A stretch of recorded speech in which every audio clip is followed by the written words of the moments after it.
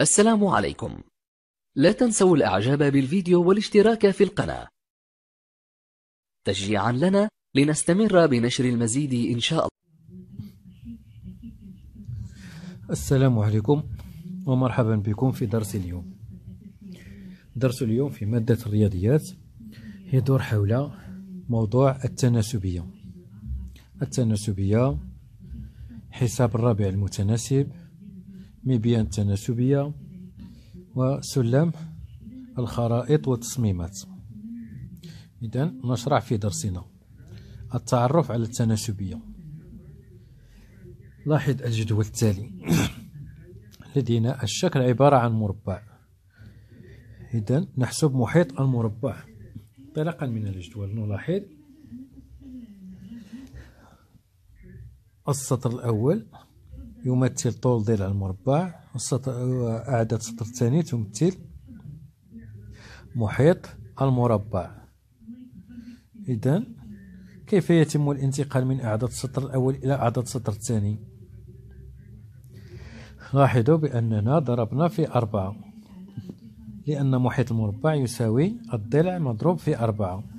خمسة في أربعة عشرون أربعة في أربعة ستة عشر ثلاثة في أربعة اثنا عشر اثنان في أربعة ثمانية واحد في أربعة أربعة. إذا انتقلنا من أعداد السطر الأول إلى أعداد السطر الثاني وذلك بالضرب أعداد السطر الأول في أربعة.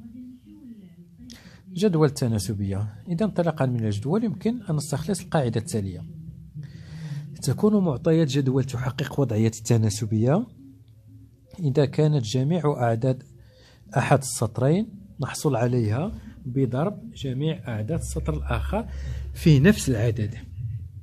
وهذا العدد هو الذي يسمى معامل تناسبية. لاحظ الجدول التالي.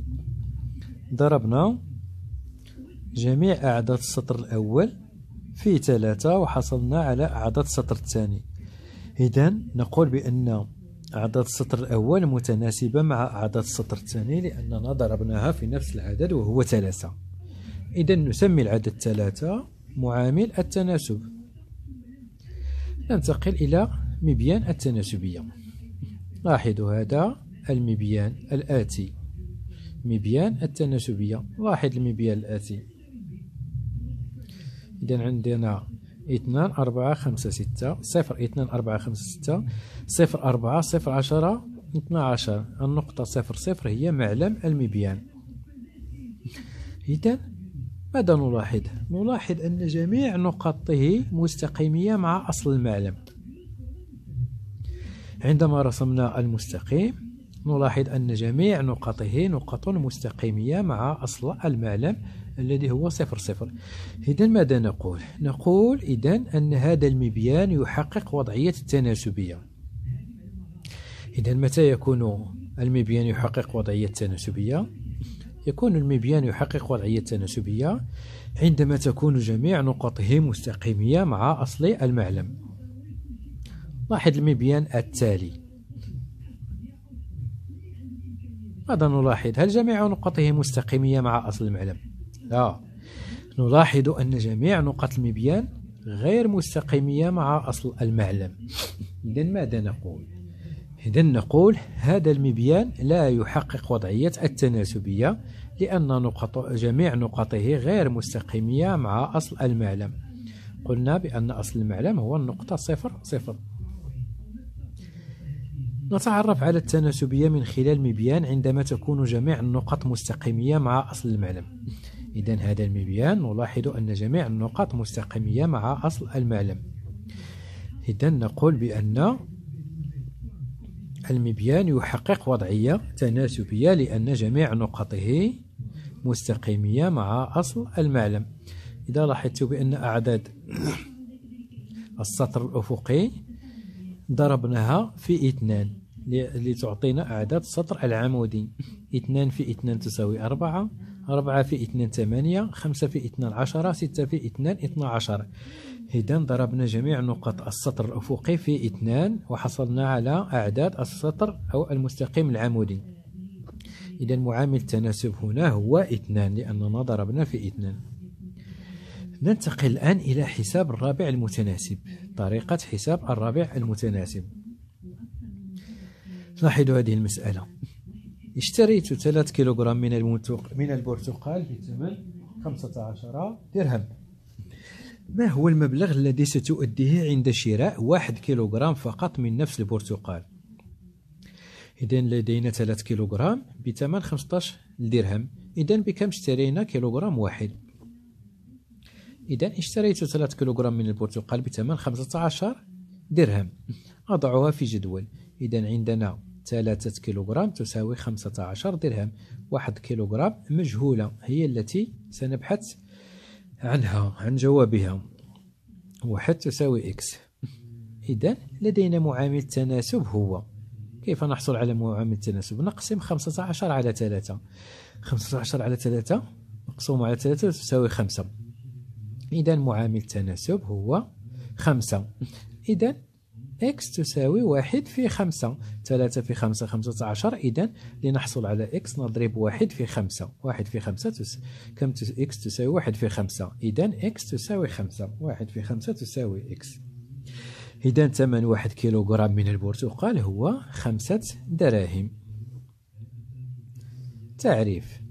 قيمة العدد x بالجدول أسفله تسمى الرابع المتناسب.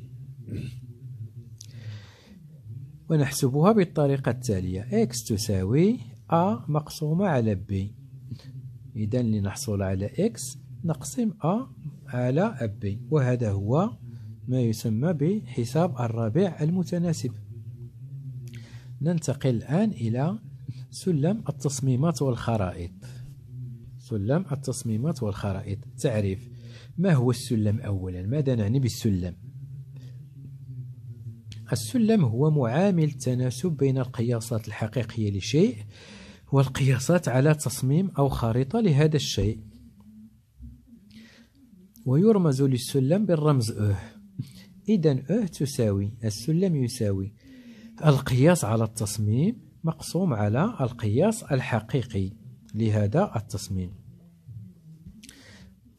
مثلا إذا كان لدينا القياس على التصميم هو مثلا 15 سنتيمتر والقياس الحقيقي هو 550 سنتيمتر. إذا السلم هو 15 مقسومة على 150 وتعطينا السلم. القياس على التصميم أو القياس على الخريطة مقسوم على القياس الحقيقي؟ يعطينا يساوي السلم الذي نرمز له ب الحركة المنتظمة. ماذا نعني بالحركة المنتظمة؟ لاحظوا هذا الجدول. قطع متسابق دراجات أثناء تدريباته المسافة التالية. إذا لدينا الجدول يمثل المسافة ويمثل المدة الزمنية التي قطعها هذا المتسابق. ستة كيلومتر قطعها المتسابق في مدة عشر دقائق. 12 كيلومتر في مدة 20 دقيقة. 15 في مدة 25 دقيقة. 36 في مدة ستون دقيقة أربعة وخمسون في مدة تسعون دقيقة. أحسب. إذا نحسب الأعداد التالية. 12 على 20 كم تساوي؟ 15 على 25 36 على 60 54 على 90 نضع عملية القسمة. إذا بعد أن قمنا بعملية الحساب كانت النتائج على الشكل التالي. ستة وثلاثون على ستون تساوي صفر فاصلة ستة. أربعة وخمسون على تسعون تساوي صفر فاصلة ستة. اثنا عشر على ستون تساوي صفر فاصلة ستة. خمسة عشر على خمسة وعشرون تساوي صفر فاصلة ستة. إذا انطلاقا من هذه العمليات ماذا تلاحظ؟ إذا انطلاقا من هذه العمليات نلاحظ أن المسافة متناسبة مع المدة الزمنية. المسافة متناسبة مع المدة الزمنية لأن الخارج نفسه 0.6 0.6 0.6 0.6 إذا معامل التناسب هو 0.6 بما أن نفس الخارج في العمل في جميع العمليات إذا نقول أن المسافة متناسبة مع المدة الزمنية. ونقول إذن بأن هذا المتسابق في حركة منتظمة. إذا هذا المتسابق في حركة منتظمة لأن المسافة متناسبة مع المدة الزمنية.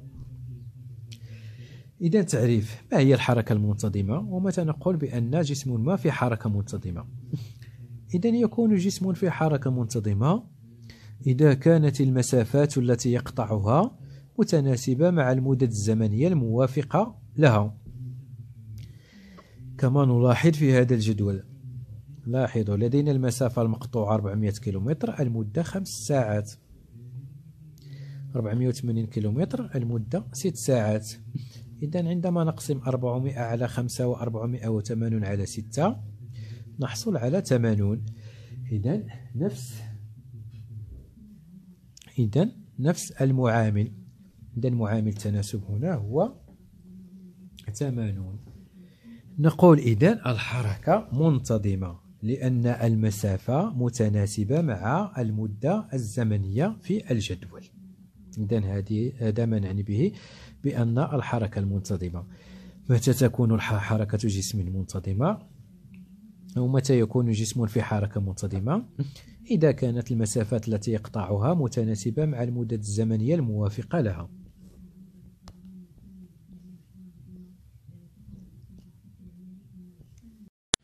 شكرا للمتابعة وحسن الإصغاء. إذا أعجبك الفيديو لا تنسى اللايك والاشتراك في القناة.